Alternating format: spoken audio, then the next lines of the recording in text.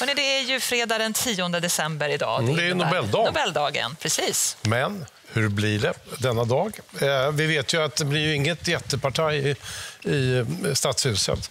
Och det är ju inga pristagare som kommer hit och eh, hälsar på kungen och allt det där. Så vad blir det då? En, en tummetott av det hela kanske? Ja, god morgon Erika Lanner som är museichef för Nobel Prize Museum. Hur kommer morgon. festligheterna gå till idag? Blir det några överhuvudtaget? Det blir festligheter på många olika sätt, på annorlunda sätt i år naturligtvis. Men det som har skett under veckan är ju att det har ägt rum prisöverlämnanden i, i pristagarnas respektive hemländer på olika håll i världen. Och idag i Stadshuset så kommer det äga rum då en, en prisutdelning där alla dessa vävs samman genom tal, musikuppträdanden, eh, kungafamilj, eh, kungaparet, kronprinsessparet kommer vara närvarande, representanter från riksdag och regering.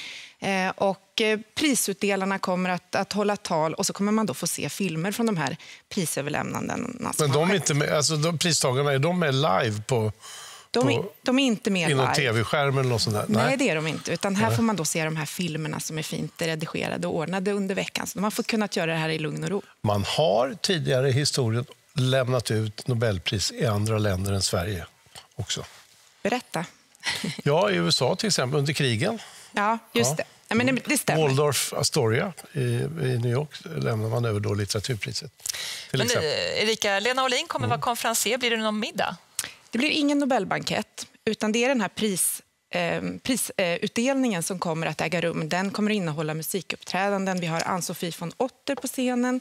Kiralina Salandi kommer att uppträda. Vi har en, en, ett dragspel, Bengan Jansson, en trombon, Karin Hammar.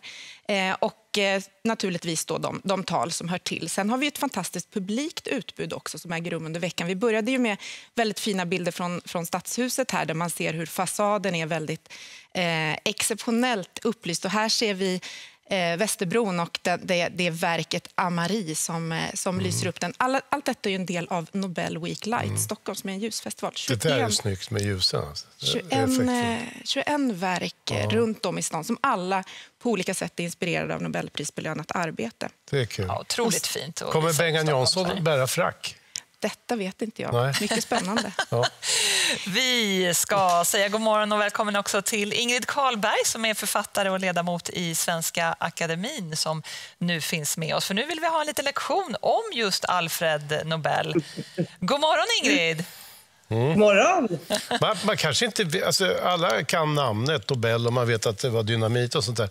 Men i övrigt är det inte en så bekant person. Vad beror det på? Ja, det har ju mycket att göra. Jag tror att, eh, som jag ser det, så har det mycket att göra med att man faktiskt försökte skapa, konstruera kan man säga, någon slags eh, idealperson av Nobel initialt. Eh, så att de första biografierna som skrevs, då, där censurerar man ganska kraftigt det som kanske var de intressanta delarna i hans person. Jag menar, han fick inte svära, han fick inte eh, angripa kyrkan och ja. Allt som undslapp honom som, som verkade lite konstigt, det, det, det tog man bort. Ingrid, han var stor feminist också, eller hur? Tidig feminist. Ja, precis. Han, jag gjorde ju så att jag läste igenom alla hans brev och har ju och försökt tränga mig in i personen Alfred Nobel. Och det där är ju kanske det första som, jag, som verkligen överraskade mig. Att se en, en, eh, ja, jag tvekar faktiskt inte att kalla honom för en mycket tidig feminist. Man ska ju veta att han växte ju, levde ju i de här väldigt patriarkala 1800-talsmiljöerna. Och eh, att i den miljön utveckla en sån progressiv hållning som han hade i jämställdhetsfrågan, det tycker jag är en bedrift.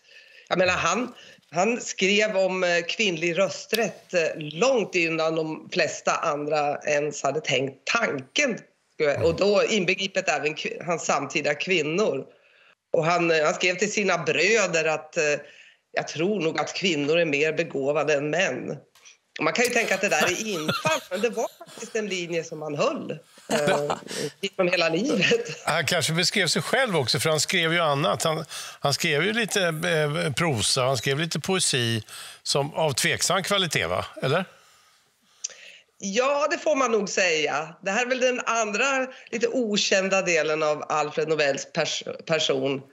att han faktiskt drömde om att bli poet.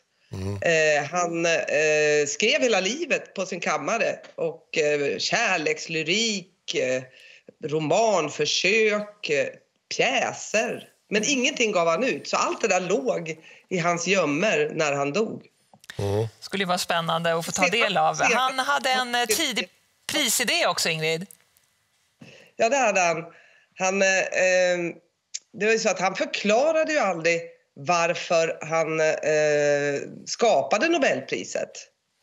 Utan han eh, tänkte att, eller det var ju bara så att, att eh, eh, priset eh, eh, basunerades ut då som en stor nyhet 1897. Först då blev det offentligt känt. Men jag har försökt spåra när idén föddes. Man får liksom se det som en process. Och, eh, och då har jag hittat en, hans allra första prisidé. Första gången han nämner ett pris i sina brev så handlar det faktiskt om ett pris för att stoppa en kolerapandemi som pågick 1892. Han, han såg liksom pandemin som en, en skogsbrand och tänkte att den som kväver en pandemi i sin linda borde belönas med ett stort internationellt pris. Och det där kan man ju tycka är synd att, man, att han inte förverkligade idag.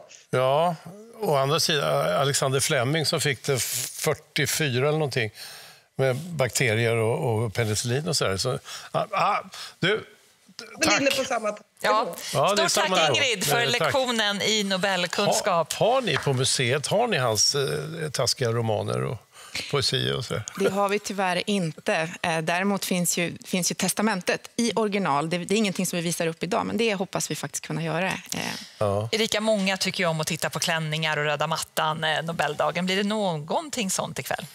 Alltså, det som finns är ju faktiskt möjligheten att uppleva Nobelbanketten i utställningsform eftersom vi på Nobelprismuseet i Gamla stan har en utställning om festernas fest där vi går både bakom och framför kulisserna på den här festen som både är bland det mest exklusiva och festliga vi har men också bland det, den folkligaste fest vi har därför att det är en kulturinstitution i Sverige och svenskarna har tagit den till sitt hjärta. Så att, eh, det finns möjlighet att uppleva under ett eh, helt år hos oss.